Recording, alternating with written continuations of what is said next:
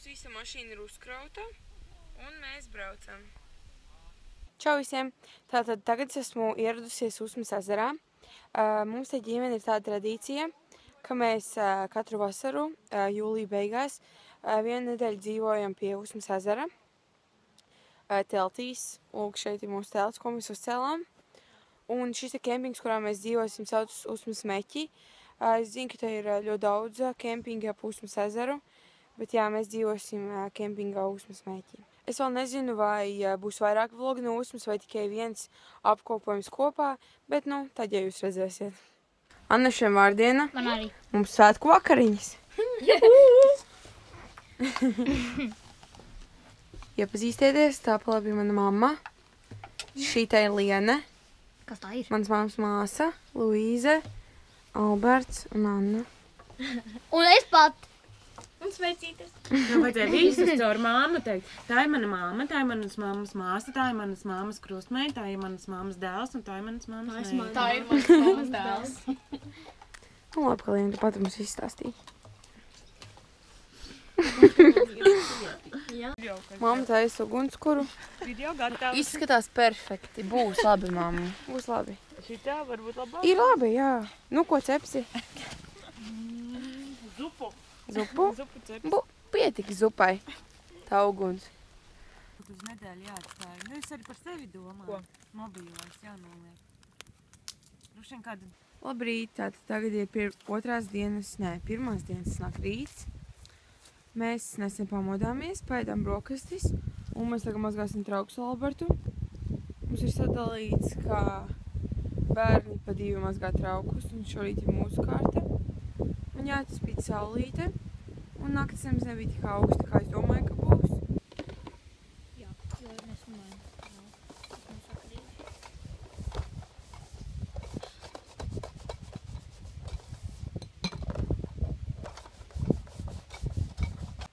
Jē, mēs nomazgājam traukus. Mēs mājās nekad nemazgājam traukus, jo mums ir trauku mašīna. Bet šeit mums jāmazgā trauki. Ārā spīd saule. Ir labs laiks, bet man ir ļoti augsts. Es staigāju ar ziemas jakā. Viņi sauļojas pārējie. Laipiņas. Gustiņ! Čau! Kā iet gust? Čau!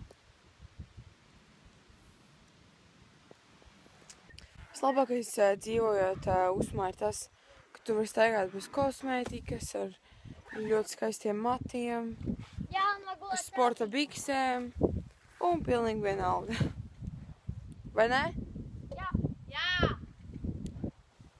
Šitā pirts bija tur laipiņas galā, bet šogad viņi ir šeit krastā. Nē, viņš tās multivā. Normāli. Kāpēc lai nomēs? Gaidīju. Ārā ir kaut kādi 16 vai 17 grādi. Es joprojām esmu ziemas jakā. Un Alberts liekas ūdenī peldēt. Lai. Nu, filmēju. Tikai uz galvas, nē, jā? Jā. Aiziet. Augsti? Kā iepriekš. Nav bišķi. Luīs, tu to vari. Trīs, divi, viens. Aiziet!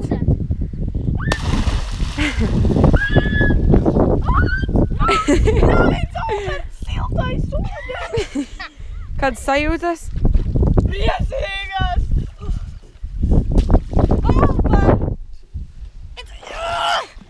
Ko tu šobrīd dari tieši? Skaties, Katīnes pievalk. Šī diena zemāks. Un viens. Superīgi. Workouts rītā, ja? Kas? Pirms pusdienu workouts.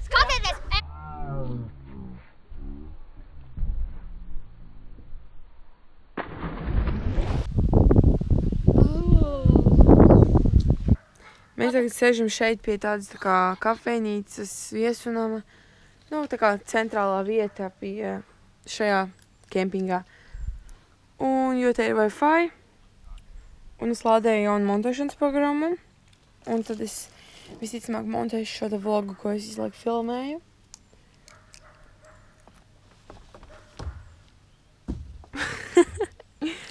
Superīgi, Albert. Kā iet? Superīgi. Labs vai faita? Superīgs. Vispār neķer. Jā. Man gan ķer. Ļoti labi, visu ātri lādē. Viņš jau labāk tiem diviem kaut kādiem lošiem neķer. Kad vēl liekas, tur var staigāt? Vēl Pa galdiņiem. Man patīk, kā tu esi saģērbies, Albert, vienkārši dievīgi. Pats ģērbies, Nē, man. var redzēt.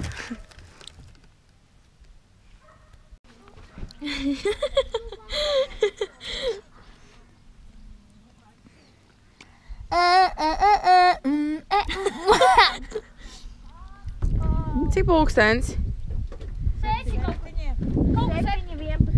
Ir 7,11 un es atnācu pirmo reizi šeit peldēt. Silts ūdens mammu.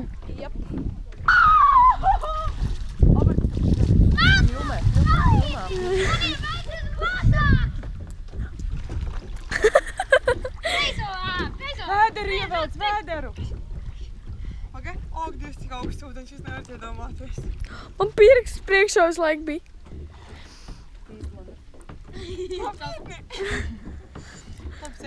Tev jālc vēlreiz, Katrīna. Pastāv ziet, Katri. Ūdens bija augsts, bet nu es pieradu un nebija tik traki. Un šovakar vakariņās atkal roltoni. Atkal būtu. Šie ir mani mīļākie. Labi, tie nav roltoni, tā ir knora zupiņa ar sieru. Bet nu mēs viņus tā saucam. Saulriets. Šis vakars ir eh, salīdzinoši silts. Bet man ir augsti, jo es nesen peldēju. Un man slapja mati. Bet nav tik ļoti traki, kā varētu būt. Ir kaut kur eh, 18 grādi. Ko jūs spēlējat? Kā jau zinu, tu? Alberts uz trešā. Nu, tas mums trešā. Nav.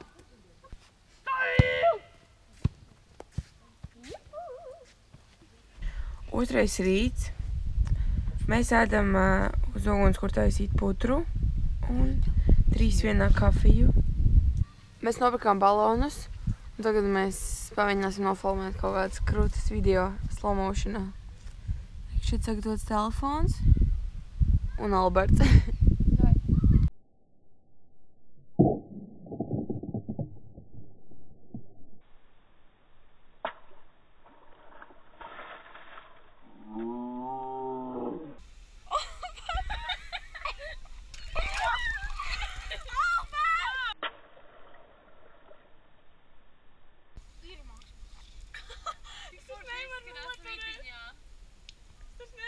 today.